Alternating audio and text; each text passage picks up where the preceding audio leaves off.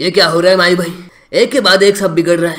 दिमाग भी काम नहीं कर रहा है। हाँ रोहित भाई। हाँ भाई खुशी मनाने से पहले ही ऐसी कोई खबर आ जाती है जिससे मन उदास हो जाता है। हाँ भाई कुछ समझ नहीं रहा इस साल का। ये 2020 का छठवा महीना है। पता नहीं और क्या क्या देखने को मिलेगा। सबसे पहले तो इन चाइना वालों का कुछ करना पड़ेगा। मैं तो कहता हूँ इनके सारे चीज़ों का वापस ही बंद कर दो। तब समझ में आएगा इनको। अगर अब भी किसी ने टिकटॉक अनइंस्टॉल नहीं किया तो बड़ी शर्म की बात है। बॉलीवुड वाले ही सबसे ज़्यादा टिकटॉक चलाते हैं। रोज वीडियो अपलोड करते हैं वो लोग। बॉलीवुड की बात मत कर यार। सबके सब फेक है। हाँ भाई ऊपर ऊपर से इंस्टाग्राम और ट्विटर पे पोस्ट डाल देते हैं और चले जाते हैं।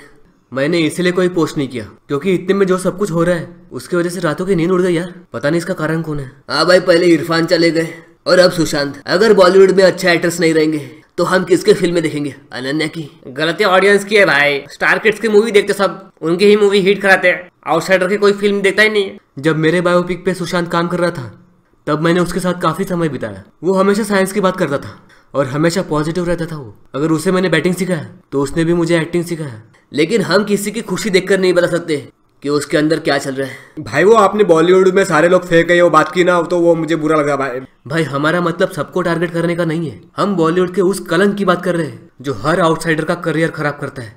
अच्छा तो ऐसी बात है मुझे कुछ और लगा। चलो वो सब तो ठीक है लेकिन अब सब पहले जैसा नहीं रहा। अब सोशल मीडिया का जमाना है। तो कुछ भी हुआ तो हम सीधा इंस्टाग्राम या ट्विटर पे जाते हैं पोस्ट करते हैं और सोचते हैं कि हमारा काम हो गया। लेकिन हमें कुछ ऐसा करना पड़ेगा जिससे जिससे सच में कुछ बदले। कैसे बदलेगा भाई सब? कैसे बदलेगा? सबके सब स्टार किड्स की फ़िल्में देखने जाते हैं। जो भी आउटसाइडर है, जिनका कोई गॉडफादर नहीं है और कुछ अच्छा कंटेंट लेके आते हैं, उनकी फ़िल्में कोई नहीं देखता भाई। थिएटर में कोई ऑडियंस ही नहीं रहती। इससे ये पता चलता है कि जनता ही नेपोटिज्म को सपोर्ट करती है। डर था उनको डर कि ये बंदा बाहर से आके हमसे आगे ना निकल जाए इसलिए छीन ली उसकी सारी फ़िल्में और ये पहली बार नहीं हुआ है।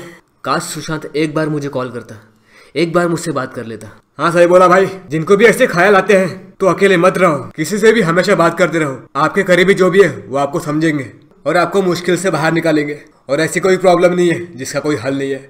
हाँ और उन सबको कभी कॉल मत करना। जो कहते हैं कि हम फ्री हैं हमें कॉल करो। हम हमेशा आपकी मदद करेंगे।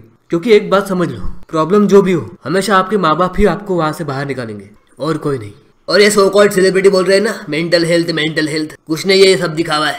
पहले कहा थे ये लोग? मेरी मानो तो सब फैमिली के साथ रहो उनसे बातें करते रहो बाकी सब मोह माया है भाई।